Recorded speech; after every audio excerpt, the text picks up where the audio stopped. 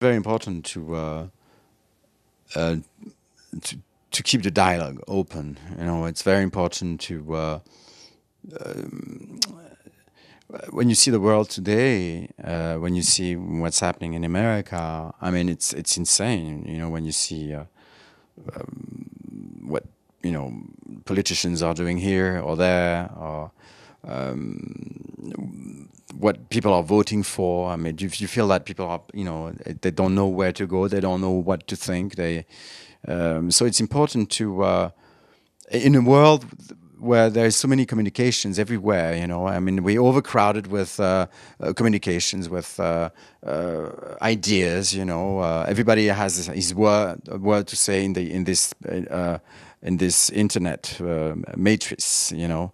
Um, so it's very difficult to see clearly uh, what, what, to think about uh, one thing or not. So uh, I think it's, it's, I think it's it's important to uh, to know yourself first, and then you can you can you know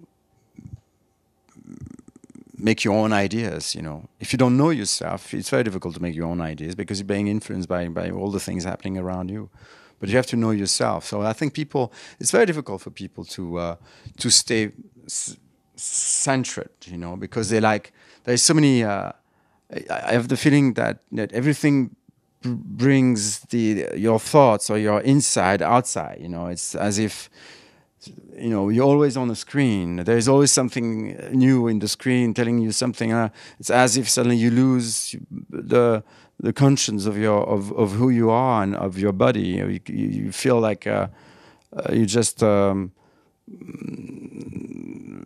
one thing between the other thing. You know, it's it's very difficult. I think uh, we're discovering it because we, you know, in that that uh, uh, Facebook, Instagram, etc., all those things that are submerging our everyday life. It's very difficult to see clearly in in in that in yourself you know um, so I think meditation is good.